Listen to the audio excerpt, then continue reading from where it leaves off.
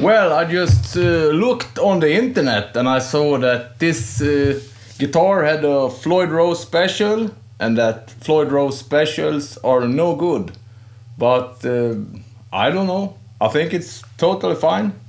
You can go up a lot and down and flutter and everything you want to do without a problem. And uh, it stays in tune very well. So that's that. If you want, you can upgrade it to a Schaller Lockmeister 7 or a original Floyd Rose. It's not that expensive if you planning to keep the guitar. Uh, the fit and finish is great. It has no flaws that I can see in the paint or anything. Worth mentioning is the fretboard. It's really really smooth. It feels like a vintage guitar, not like new Gibsons or new Ibanezes where they can have like a rough surface on the rose rosewood. This is a really really smooth looking and feeling fretboard. No sharp fret ends. They are on par with the Ibanez Pro Edge treatment and ESPs top of the line series. Um, yeah, so I think it's uh, a really good uh, bang for buck guitar. I put 9 to 62s on this one because I tuned down uh, a half step. And then the regular strings that came on it, I think they might be 9 to 54s or something, was a bit too slingery, slinky feeling. Uh, so I put on this and they work great. Great um, punch and uh, articulation. Let's, uh, we can try some sounds. Here the bridge pickup.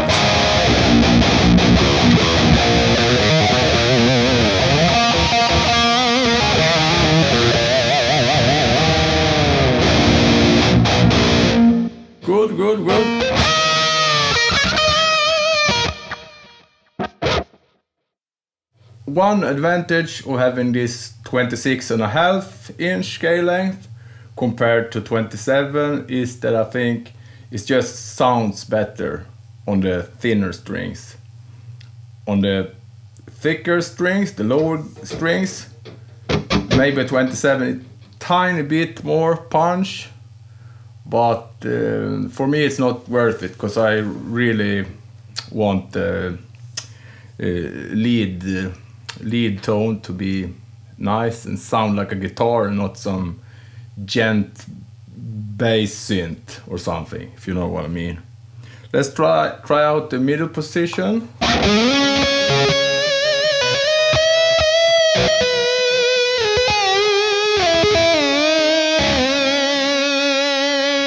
Nice.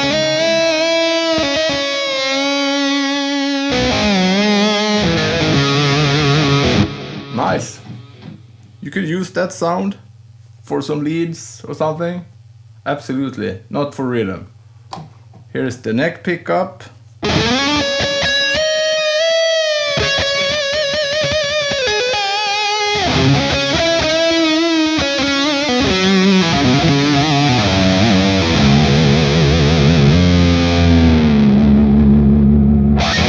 Really full sounding, really, really nice. I enjoy it. I don't know about this tone now. If you would use it, maybe to get this uh, woman tone, whatever you want to call it.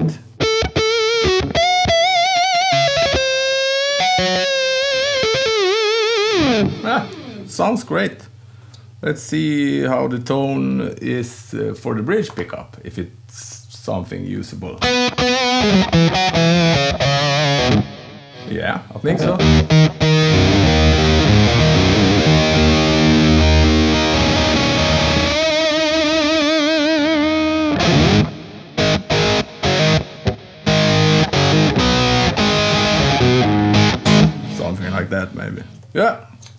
I would definitely recommend it. Just go pick one up at your local music store, preferably. Preferably. Preferably. Uh, take the last tuning test. The Mega Insane uh, whammy bar diving.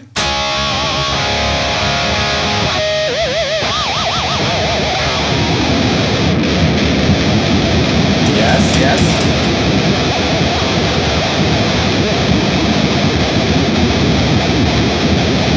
Simulating a live situation now.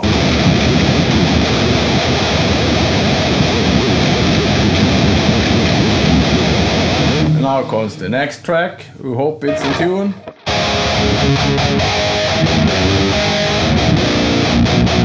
It is great. I give it uh, 10, fit, finish, sound 9. Cause I'm not the biggest fan of EMGs, but the, this set it works great in this guitar. Uh, what else? Playability, I give it a 9. I would give it a 10 if this volume knob was here and not here, because sometimes it gets in the way. Um, so that's it. So I guess the total score is mm, 9 out of 10, which is really good. Because most guitars are 2 or 3 or 4 or 5 or 6 or 7 or 8 or 9 or even 10. And some can be up to 11. Have a great evening. Goodbye.